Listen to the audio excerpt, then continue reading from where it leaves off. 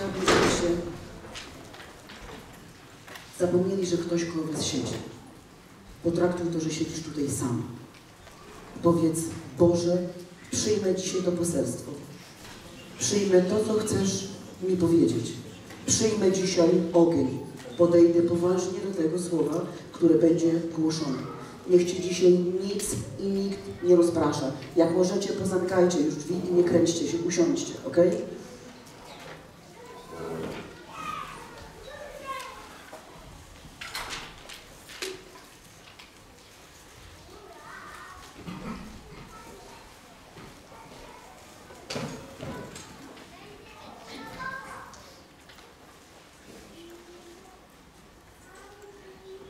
Za żarliwością podąża moc. Za niczym innym. Chcesz być świadkiem Jezusa? Odpowiedz sobie na to pytanie. Czy chcesz być świadkiem Jezusa? Czy chcesz być świadkiem Jezusa? Jak bardzo chcesz być świadkiem Jezusa? Coś wam powiem. Jezus przyszedł do nas jako dynamit, kiedy się naradzaliśmy na nowo. Przyszedł do nas jak dynamit. Przyszedł do ciebie jak dynamit i do mnie też jak dynamit. Ale nigdy nie podniesie twojego tyłka z krzesła w kościele. Musisz chcieć wstać.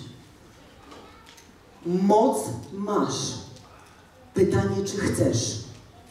Moc masz. Pytanie, czy chcesz. Ja jestem najarana na duże rzeczy. Bóg jest Bogiem rzeczy małych, ale też jest Bogiem rzeczy wielkich. Spójrz dzisiaj w ogóle w swoje serce. Czego chcesz? Czego w ogóle chcesz? Czy chcesz być świadkiem Jezusa? Duch Jezusa nade mną namaścił mnie, abym głosił Ewangelię. Czy my w ogóle zdajemy sobie z tego sprawę?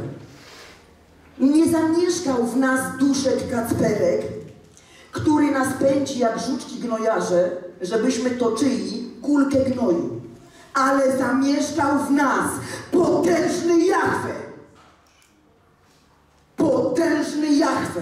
Niech te słowa przeszywają Twoje serce. Zamieszkał w Tobie potężny Bóg, który chce przez Ciebie działać. Nie w ukryciu, ale w świetle ciemnym. Spójrz na Mojżesza, jak zadziałał. Jednego dnia Bóg przez Mojżesza wyprowadził całą siłę roboczą, tak? Świato, w światowym cesarstwie. Rozumiecie to? Zobaczcie. A my często chcemy podejść i komuś przemycić Ewangelię. To jest kwestia naszej tożsamości. Kim jestem i czego chcę. To, co będziemy robić, jest ściśle związane z tym, czego my chcemy. Czego ja chcę. Jesteś świadkiem Jezusa. Powołał Cię do tego, abyś głosił Ewangelię. Żadno Twoje spotkanie nie jest przypadkowe. W ogóle wiem, że Bóg chce, aby ta prawda została podniesiona. Rozumiecie? Tylko Ty masz swoich znajomych, tylko Ty masz swoją rodzinę, tylko Ty masz swoich sąsiadów, tylko Ty masz pracowników koło siebie w pracy. Pytanie, czy tam, gdzie jesteś, ludzie wiedzą, że jesteś świadkiem Jezusa? Czy tam, gdzie żyjesz? Czy tam, gdzie mieszkasz? Czy Twoi znajomi wiedzą, że Ty jesteś narodzony z Bożego Ducha? My nie przemycamy Ewangelii, my mówimy o tym, kim jesteśmy. To jest nasze nowe życie, kim jestem. Prezentuję to, kim jestem zawsze i wszędzie. Rozumiecie? Zadaj sobie to pytanie. W ogóle spójrz w to, to jest bardzo proste. Jestem świadkiem Jezusa, a więc wszędzie, gdzie jestem, natychmiast świadczę o Jezusie. Kiedy ktoś mnie pyta, w ogóle co u Ciebie, to ja natychmiast w ogóle opowiadam.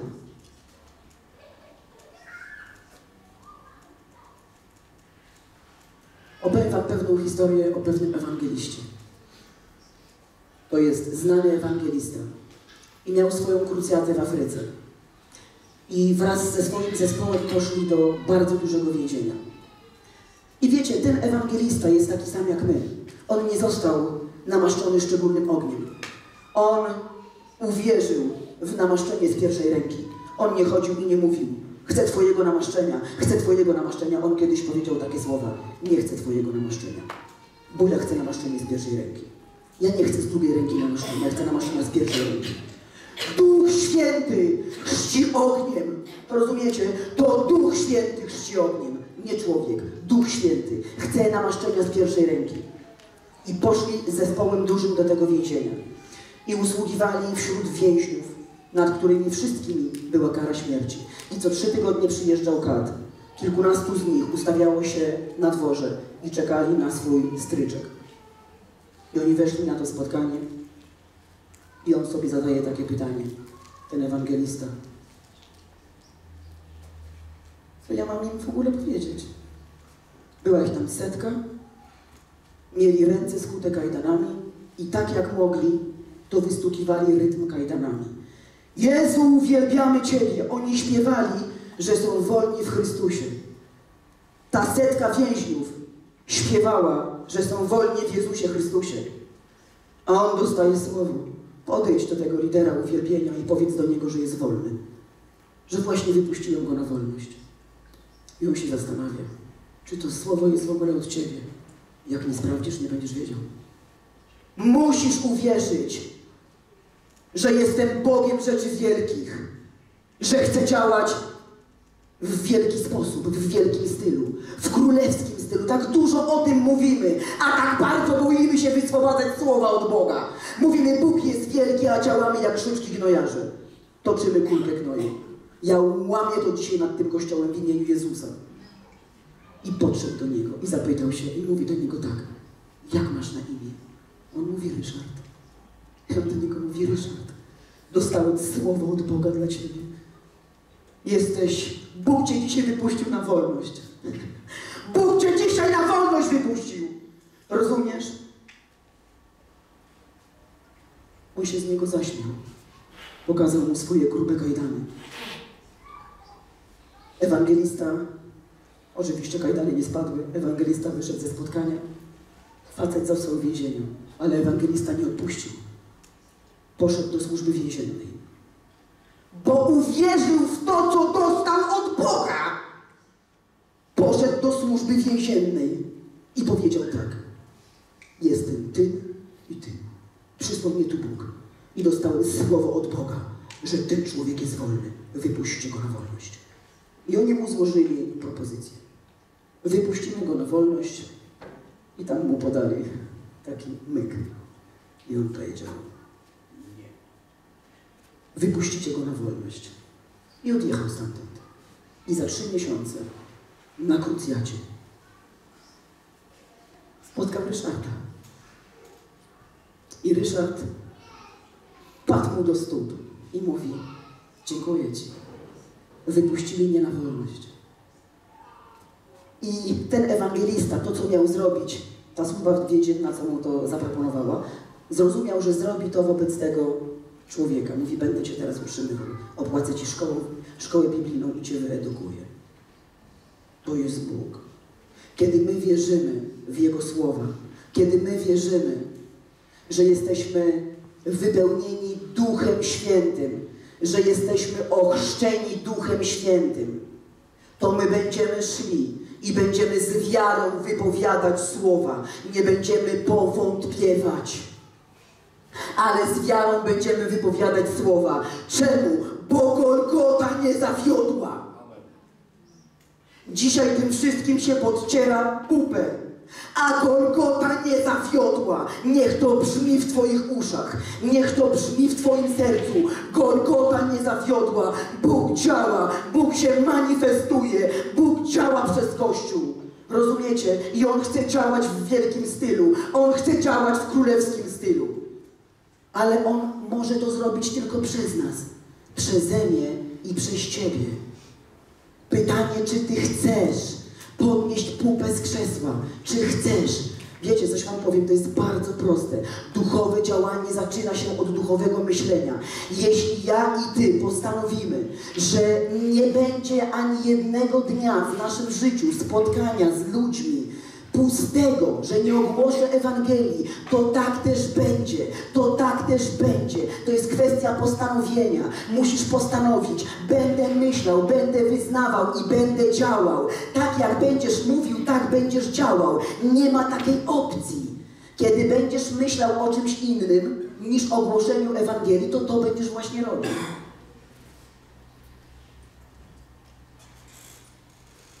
Coś wam powiem. Chodzimy z Arturem na siłownię i bardzo mi zależy, żeby mój kuzyn spotkał się z Jezusem. Ten trener. Opowiadaliśmy mu ostatnio, że będę leciała do Afryki i tak dalej. I on w ogóle podszedł do mnie i mówi, w ogóle szanuję Cię, dumny jestem z Ciebie, że lecisz do Afryki. Ja mówię, nie chcę, żebyś z tego powodu był ze mnie dumny. Chcę Cię przyprowadzić do Jezusa. I wzięłam Go jako osobistego trenera i On to wie. Wzięłam sobie u Niego 12 spotkań. I mówię, moim celem jest to, aby Cię przyprowadzić do Chrystusa. Powiem Wam, jak to się zaczęło. Kiedyś tutaj Artur był w kościele, ja byłam sama na, na siłowni. Zobaczyłam też, jak działa poniżenie. To jest bardzo dobrze wyglądający mężczyzna. Bardzo. Jest pod 60. Ale przyszedł na siłownię ktoś, kto wyglądał lepiej od niego. I zadziała się taka głupawka. Natychmiast podszedł do mnie i pokazał mi swoje zdjęcie z gołą pupą. Ale ja się nie zaśmiałam, wiecie. Ja w ogóle wolę pupę mojego męża. I on zobaczył, że mnie to nie kręci. Wiecie, że to takie było w ogóle, no takie małe, takie malutkie. Natomiast ja w ogóle tak się mówię, to duch, to w ogóle poniżona dusza, wiesz, nieważne jak wygląda i co sobą prezentuje, przyszedł ktoś, kto w danym momencie w ogóle wygląda lepiej od niego i w ogóle natychmiast w ogóle musiał pokazać coś innego, fajniejszego. Rozumiecie, ja się z tego nie zaśmiałam. I w ogóle otworzyłam sobie drogę, nie gadam z nim o głupotach, otworzyłam sobie drogę do tego, żeby mu głosić Ewangelię. Postanowiłam sobie, że chcę, aby on się spotkał z Jezusem, ponieważ taki jest mój cel bycia tam na tej siłowni. Postanowiłam, że tam będę głosiła Ewangelię. Nie chcę tam chodzić i rozmawiać z nim o ciele. Rozumiecie? Chcę przyprowadzić go do Jezusa. Duchowe działanie rozpoczyna się od duchowego myślenia. Też tak możesz mieć, jeśli postanowisz, że chcesz. Jeśli postanowisz, że chcesz. Wiecie, życie człowieka jest bardzo kruche. Naprawdę. Ostatnio umarła moja znajoma. Po południu się z nią widziałam, a za kilka godzin już się okazało, że, że, że nie żyje. Dostała rozległego zawału serca. Głosiłam jej wcześniej Ewangelię. Te rzeczy mnie bardzo pionują, one mnie bardzo pionują. Ja nie chcę, aby w moim życiu były takie spotkania, tak? Kiedy ja nie zaświadczę ludziom o Chrystusie. To jest prosta Ewangelia. Prosta Ewangelia w ogóle o ratunku. W ogóle Bóg Cię może uratować. On Cię może w ogóle uratować. Bóg jest tym. Często ludzie mówią, ja nie czuję pasji za zgubionym światem. Nie czuję w ogóle pasji, w ogóle, ale to ja nie wiem, co to znaczy, wiecie. Ja też nie czuję. Ostatnio mi się tu nie chciało iść, a to mnie za rękę prowadził. Pachę, chodź, zaprowadzać się do kościoła. To w ogóle wiecie, to w ogóle to nie chodzi o czucie. To w ogóle nie chodzi o czucie. To chodzi o naszą decyzję. O naszą decyzję. Zimny sopel nie może prezentować Boga ognia. Nie może prezentować Boga ognia. Chcę Wam coś powiedzieć. Kiedy w dniu Zielonych Świąt te 120 osób stało i ja to w ogóle, mnie to mocno w ogóle dotyka. Oni zostali wypełnieni Duchem Świętym i pokazały się języki z ognia. I one usiadły na nich. Każdy, jeden język na każdego człowieka. To, co z nieba dotknęło to, co fizyczne. Rozumiecie? To, co z nieba dotknęło w ogóle niebiańskie języki ognia, dotknęły języków tych ludzi. I oni zostali w ogóle ochrzczeni Duchem Świętym i ogniem i zostali uzdolnieni do tego, aby w nadnaturalny sposób głosić w ogóle słowo. Ty musisz uwierzyć w to, że ty jesteś obdarowany, że ty w ogóle jesteś ochrzczony duchem i ogniem. Że kiedy ty postanowisz, a wierzysz w to, że intencje masz dobre, to będzie z ciebie wychodziło życie. Ja kiedy rozpoczynałam moją służbę publiczną i bałam się, że kiedy wyjdę na środek, to w ogóle się zatnę i nie będę wiedziała, co mam mówić. A Bóg do mnie mówi, ale zaufaj mi, wyjdź, otwórz swoją buzię i popłynie rzeka wody żywej. Nie bój się, nie wstydź się. Nie kontroluj się, nie patrz na ludzi, głoś tak, jak Cię powołałem, głoś w namaszczeniu, w którym Cię powołałem. Najgorsze, co chcecie zabić ewangelistę, to dajcie ewangelistę na spotkanie ludzi zbawionych. Rozumiecie? Często się mówi, jak prorok głosi. Prorok głosi tak jak ja. Często ma niepoukładane kazania, nieważne, ale jak powie, rozumiecie, to do końca życia będziesz o tym pamiętał. Nauczyciel niech naucza, tak żebyście wiedzieli o co chodzi. Ha, ha, ha. Ha, ha, ha.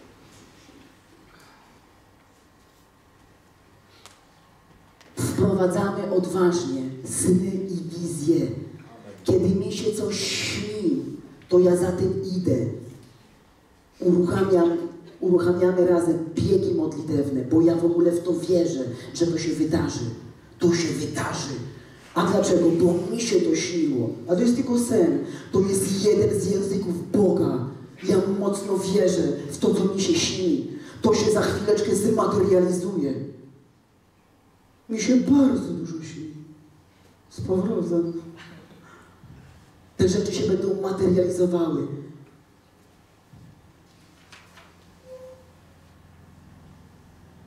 Musisz wierzyć w to, że Bóg przez Ciebie chce działać. On chce, żebyś wyzwalał jeńców. On chce, żebyś wyzwalał jeńców. Wczoraj siedzieliśmy z Arturem w takiej restauracji, podszedł człowiek, w ogóle bezdomny w ogóle człowiek. I siedział sam i na nas patrzył. Wiecie w ogóle jak ludzie, ludzie w ogóle potraktowali go jak psa. Natychmiast wszyscy się od niego odsunęli. A ja się do niego przysunęłam i dałam mu swój obiad. Mówię, zjedz. Nie, nie, nie, ja mówię, zjedz, chcesz, mówię, zjedz. Wiecie, Ewangelia jest dla wszystkich.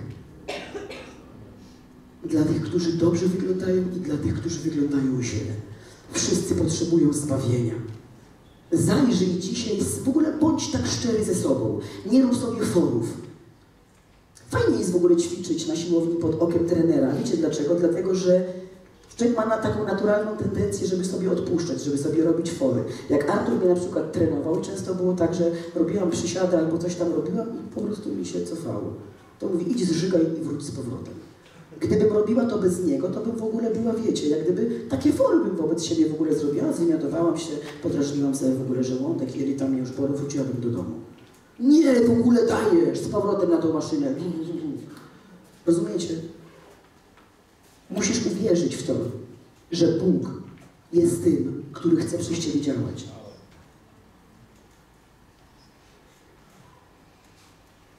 Masz pragnąć tego ognia Bożego. Masz pragnąć działać w ogóle w ogniu Bożym. Wiecie, w ogóle, mnie kiedyś w ogóle dotknęło to tak jedne słowa człowieka. Króla się prezentuje jak króla. Króla trzeba prezentować jak króla. Jak króla. Dlatego nie przemycamy w ogóle Ewangelii. Idziemy w ogóle i mówimy ludziom tak, jak się rzeczy mają. Spójrz dzisiaj, nawet w miejsce swojej pracy, czy ludzie wiedzą, że Ty jesteś zbawiony. Czy ludzie wiedzą w ogóle o tym, że Ty poznałeś Jezusa? Czy ludzie o tym wiedzą? Wiedzą o tym ludzie? Sam przed sobą tak w ogóle wiesz to. Czy ludzie wiedzą? Bardzo łatwo jest tracić proste rzeczy. Dlatego cały czas trzeba przypominać fundamentalne rzeczy. Sobie. Zobacz w ogóle. Kiedy postanowisz, że będziesz wszystkim ludziom, których napotkasz, głosił Ewangelię, to zobaczysz, ile jest sposobności. Zobaczysz w ogóle, jakie są narzędzia. I zobaczysz w ogóle, jak ludzie potrzebują Boga. Ludzie chcą Boga prawdziwego. Chcą Boga prawdziwego.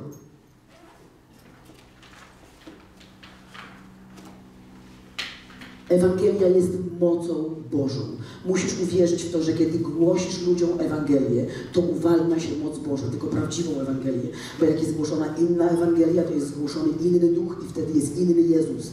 Trzeba głosić prawdziwą Ewangelię. Wszyscy zgrzeszyli i brak im chwały Bożej.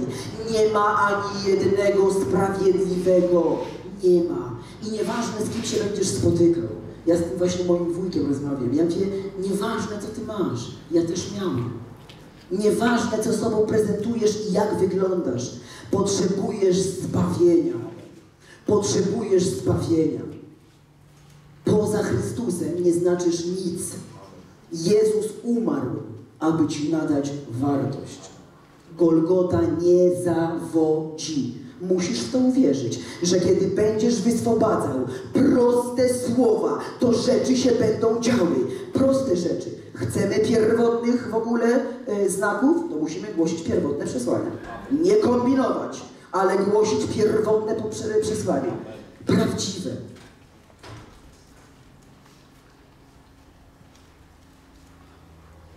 W tym samym czasie, w którym mój tata pochorował się na nowotwór, też pochorowała się taka jego sąsiadka. I modliłam się o nią. Modliłam się o nią, ona miała problemy z trzustką. I popełniłam jeden błąd. Ponieważ nie powiedziałam do niej, żeby po tej modlitwie zrobiła sobie badanie. I poszła ponownie na operację. Kiedy ją otworzyli, to się okazało, że ma zdrową trzustkę. Trzeba ludziom mówić, żeby sobie szli robili badania. Mamy też takie świadectwo takiej dziewczyny, która kiedyś była związana z naszą służbą. Chodziło jej yy, narządy rodne. Wycięli jej kawałek. Wycięli jej z wychojejnika. Aż przy macicę. Macicę, macicę jej wycięli. Rozumiecie, trzeba się badać. Kiedy w ogóle głosimy Ewangelię, kiedy uzdrawiamy y, ludzi, tak, to w ogóle z taką pewnością mówimy, zanim pójdziesz coś tam, co znowu wychcisz, chciał wyciąć czy przykleić, to się zbadaj.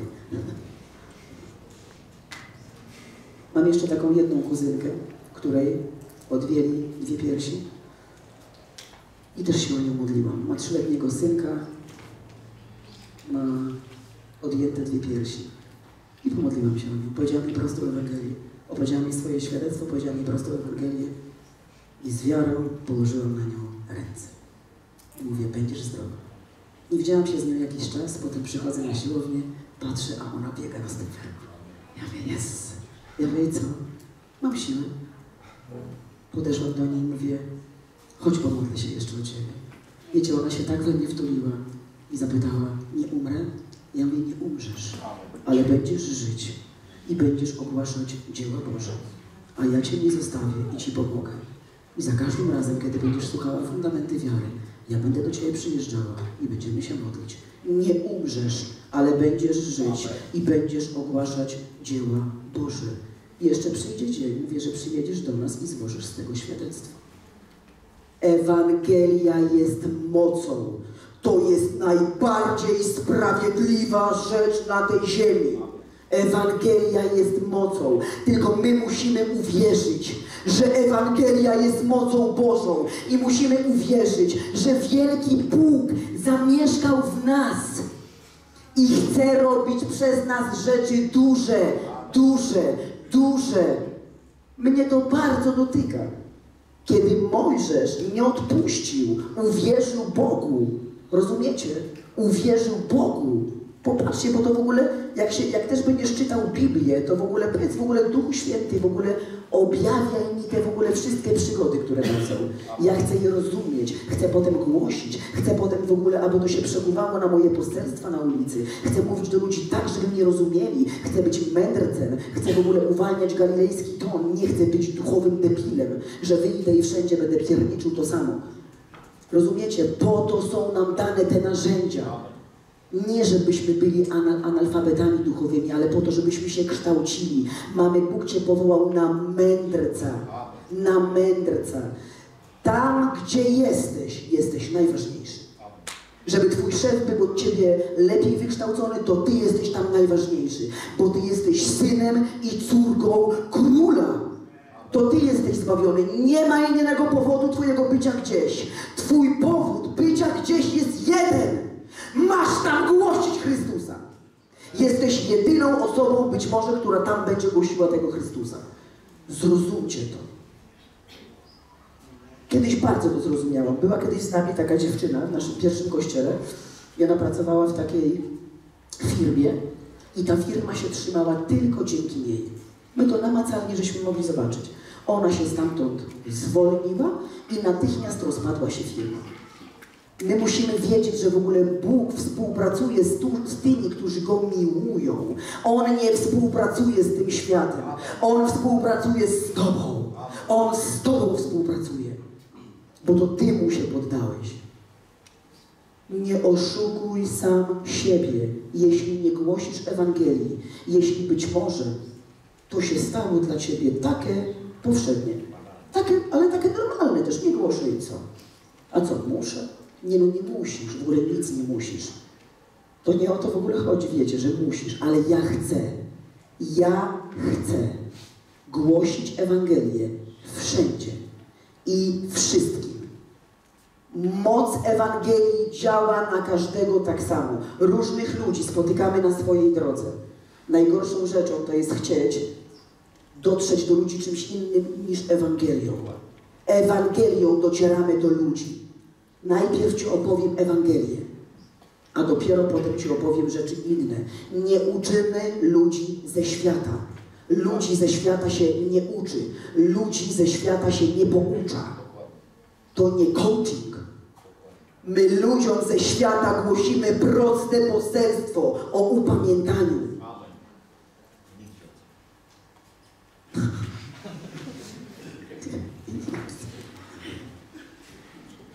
Moc nie przychodzi przez uczucia.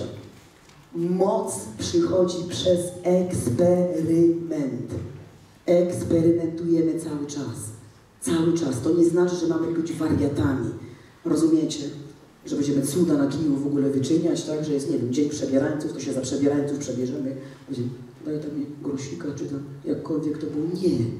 Aczkolwiek ja nie wiem, jak się chodzi z Duchem Świętym, to różne rzeczy mogą, można robić. Efektem jest owoc owoc. Moc Boża przychodzi przez eksperyment. Nie bójcie się eksperymentować. W ogóle wierzę, że wielokrotnie Bóg mówi do Was różnego rodzaju rzeczy, ale boicie się to wprowadzać. Boicie się wprowadzać to w ogóle w życie. Nie bój się, bo inaczej nie zobaczysz Boga w akcji. Jak nie będziesz wprowadzał tego, co Ci się śni, tego, o czym marzysz, rozumiesz, to nie zobaczysz Boga w akcji. To się tak brzydko mówi, ale powąchasz smród porażki, no. Wiesz, diabeł będzie przed tobą stepował i będziesz kurz jego tam po prostu wąchał. Głoście Ewangelię. Głoś Ewangelię wszelkiemu stworzeniu. Duch Jezusa nad Tobą namaścił Cię, abyś zwiastował Ewangelię. To jest bardzo ważne. Ja dzisiaj oglądam rzeczy w swoim życiu, o których marzyłam lata temu. Postanowiłam, że krok po krok będę wprowadzała swoje marzenia w czyn. W czyn. W czyn. Wprowadzaj swoje marzenia w czyn. Eksperymentuj. Często mi od razu trzeba wyjść i coś tam powiedzieć. Eksperymentuj, głoś Ewangelię, módl się o to, powiedz Boże, jest u mnie w pracy taka i taka osoba, nie wiem jak mam do niej dotrzeć, Bóg Ci pokaże, On Ci da klucze, On Ci powie słowa takie, że jak powiesz temu człowiekowi, to on się nawróci. On Ci w ogóle też, On Cię też nauczy, jaką postawę w ogóle przyjmować. To jest Bóg mocy. To jest Bóg ten, który bardziej chce niż Ty, aby ludzie byli wyswobadzani, aby jeńcy byli wyswobadzani, aby wychodzili na wolność. Wierzysz w ogóle Bogu? Czy w ogóle wierzysz, że jak idziesz i głosisz Ewangelię, to Bóg jest z Tobą? Wiecie, dużo wiemy, ale trzeba zadawać sobie te podstawowe takie pytania. Czy tam, gdzie idę ja, to idzie ze mną Bóg? Tak. Tam, gdzie idę ja, tam idzie wielki Bóg. To, co mówię ja, to mówi Bóg. To, co mi się śni, to jest informacja prorocza od Boga. Ja ją sobie zapisuję. W ten sposób tworzę sobie całą jakąś tam mapę. Nie lekceważ tych rzeczy. Do rzeczy duchowych trzeba przykładać odpowiednią miarę. Nie lekceważcie tego.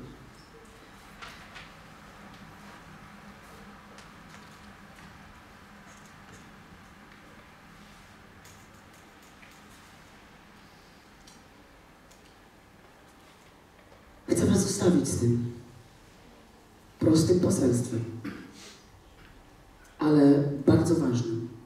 O tak się Bogu podobało, aby ludzie się zbawiali przez zwiastowanie Ewangelii, przez to, że będziemy głosić do nich słowo. Często może się wydawać, że to jest takie głupie. Co ja powiem? On tu wyjechał do mnie z jakimś czymś dużym, wedle tego świata. A ja mu powiem, słuchaj, Jezus za ciebie umarł? Tak. A ty mu tak właśnie powiedz. Jezus za ciebie umarł. Chodź opowiem ci, co się wydarzyło w moim życiu, jak spotkałem Jezusa. To nie jest błahe. Kiedy my będziemy działać, tak jak Bóg powiedział, to będziemy zbierać plon. To będziemy zbierać plon. Wiecie, ja, to co Michał powiedział, my jesteśmy powołani do tego, żeby pomnażać. My musimy pomnażać. My chcemy widzieć efekty swojej pracy. Tak? Taki prosty przykład. Gdyby z fabryki Volvo nigdy nie wyjechał samochód, to byłoby to zastanawiające. Nie? Byłoby to zastanawiające. Ale z fabryki by na przykład taka informacja wychodziła. Mamy ze sobą super relacje i jest nam miło. I skupa wrzawy, robota w re, maszyny chodzą, każdy uchwytany. Ale nie wyjechał ani jeden samochód. Rozumiecie? Tak się dzieje wtedy, kiedy się nie głosi Ewangelii.